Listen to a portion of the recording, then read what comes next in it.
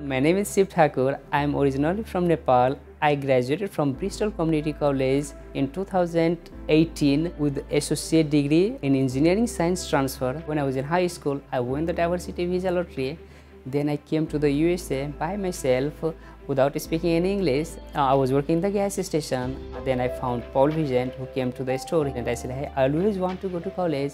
And then he gave me his business card. And then I went to his office and he took me to the admission office. I took like 12 English classes, learn how to speak English. And then I started taking uh, engineering science transfer courses. Then I transferred to Northeastern University with a full ride. I have received a Bachelor of Science in Chemical Engineering with a minor in entrepreneurship and Master of Science in Engineering Management. At the same time, I did my own internship. Then I got a full-time job with the DPS Group Global Consulting Firm. I started like doing consulting. So I was working for BioX LLC. I started my own consulting firm. It's called uh, Summit Global Consulting Incorporation, which is based in Greater Boston area. If I was not here in Bristol Community College, I would say I was still working at gas station. Thank you so much to each and everyone and I want to inspire each and every generation to attend Bristol Community College you will have a lot of academic support and emotional support.